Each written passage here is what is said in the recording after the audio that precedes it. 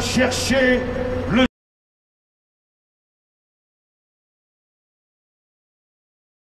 déchirera et laissera apparaître une lumière